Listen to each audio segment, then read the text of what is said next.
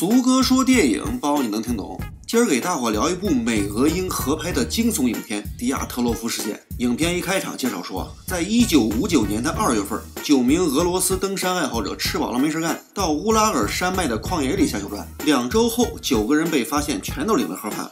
这就是著名的迪亚特洛夫山境事件。俄勒冈大学的心理学学生大眼妹在教授的支持下，带着几个傻大胆儿，准备去乌拉尔山脉找寻迪亚特洛夫山境事件的真相。在出事之前，咱先把人物给介绍一下。除了大眼妹和他的好朋友胡子哥之外，还有音频工程师大胸妹、登山专家小白脸和登山发烧友富二代。五个人收拾好装备之后，争先恐后的踏上了一条不归路，拽都拽不住。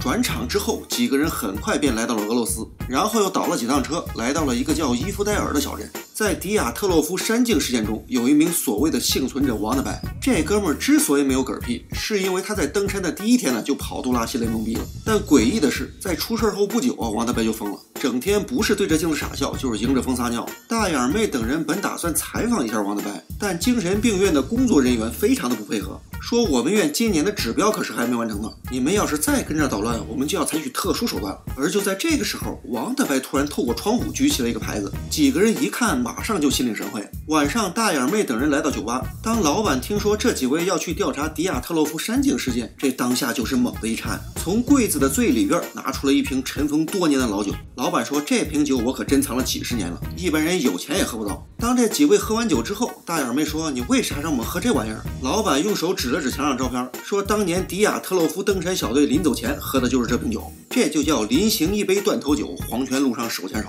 大伙一听都吓了一跳，意识到这可能是一个不祥的预兆。第二天的一早，五个人搭乘龙套叔的卡车来到了乌拉尔山下的小镇，采访了龙套叔的姑姑李大妈。这李大妈呀，当年曾经参与过搜救迪亚特洛夫登山小队的工作。李大妈说，那地儿啊确实挺诡异。当时我一到那儿就觉得尾巴根不停的窜凉气儿，毫不夸张的说，我都能闻见地狱的味儿。转场之后，几个人边瞎猜边上山，义无反顾，而且脚步坚定的走向了鬼门关。在途中过了一夜之后，大家。突然发现，在他们的帐篷附近出现了一些巨大的脚印。一帮人分析来分析去，也没分析出个屁。经过长途跋涉，五个人终于来到了能够置人于死地的迪亚特洛夫山径。大眼妹说，在一九五九年的今天，九名登山员晚上在这个地儿睡觉的时候，被一种神秘的力量给干掉，而且其中一位的体内居然还检测出了放射性物质。不过，根据我的判断，应该不是原子弹干。正如李大妈所说，这个地儿确实挺邪门的。大家带的一些电子设备全都失灵了，连指南针都找不着北了。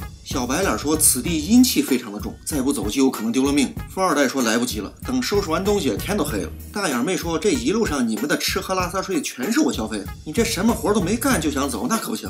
由于怀疑附近有辐射源，因此到了晚上啊，大眼妹和胡子哥拿着仪器开始到处下旋磨。时间不大，两人居然发现了一个俄罗斯军方的秘密仓库。不过由于这大门锁的比监狱还结实，因此两人费了半天的劲儿也没进去。要说截至目前收获最大的，应该算是大兄妹和小白脸。这二位是一见钟情，欲罢不能啊，很快就钻一个被窝了。当两人刚打算要要要瞎胡闹，煎饼果子来一套，这外面也不知道是哪个倒霉催的，咣当一声就放了一山炮，当时就把这二位吓尿了。紧接着就雪崩了，而光着腚的大胸妹也不幸在这场雪崩中因公牺牲了。小白脸虽然没领盒饭，但腿被摔断。黎明时分，胡子哥一颗信号弹，希望能千军万马来相见。但遗憾的是，这颗信号弹不仅没能使他们获救，还把坏蛋给招来。还没等这几位明白怎么回事，对方叮了咣当就开了枪。小白脸由于行动不便，领了盒饭，而富二代在逃跑的过程中也不幸中弹。三个人这边刚跑进山洞，就被人从外边把门给锁上，这就叫关门打狗，一个也别想走。既然出不去了，那只能往里边下旋磨。此时的富二代肠子都悔青了，说我放着山珍海味不吃，非要跑这儿主动领盒饭，你们说我贱不贱？三个人顺着过道往前走了没多远，来到了一个像是实验室的地方。胡子哥和大眼妹在桌子上看到了一些资料，这些资料中不仅记载着之前九名登山员死亡的日期，更神奇的是还有美国费城实验的一些情况。大眼妹说：“此地凶多吉少啊，咱得赶快跑。”随后，两人又发现了一些奇奇怪怪的东西，不仅有被烧焦的尸体，还有明晃晃的大铁钩子。就在两人瞎分析的时候，富二代突然就被人不人鬼不鬼的怪物给吃掉了，这下可把大眼妹和胡子哥彻底吓尿了。两人跟没头的苍蝇似的横冲直撞，最后来到了一个黑灯瞎火的密室。大眼妹说：“咱得去救富二代啊！”胡子哥说：“你可歇了菜，咱俩要是出去啊，就是给那些怪物送外卖。”大眼妹一听，顿时是气急败坏，无意中捡起一块石头往里边一扔，神奇的一幕发生了。胡子哥说：“这很有可能是个传送门呢。现在的情况是，外面有怪物，这里边啊又没有出口，咱现在只能死马当活马医，利用这个传送门试试看。如果传送的好，咱俩都不用领盒饭；传送的不好，二十年后咱俩又是两条好汉。”事实证明啊，这传送门确实不太靠谱。也不知道是传送的太快还是压力太大，总之这二位全都挂了。影片的最后，大眼妹和胡子哥的尸体被军方的人拖进了山洞，挂在了大铁钩子上。由于迪亚特洛夫山境事件至今还是个谜，因此这部影片的情节纯粹是胡编乱造，让人看的也是莫名其妙。看完这整部影片，我们还是来首唐诗压惊吧。这个世界很神秘，充满未知和诡异，没事不要下血幕，不然容易嗝儿的屁。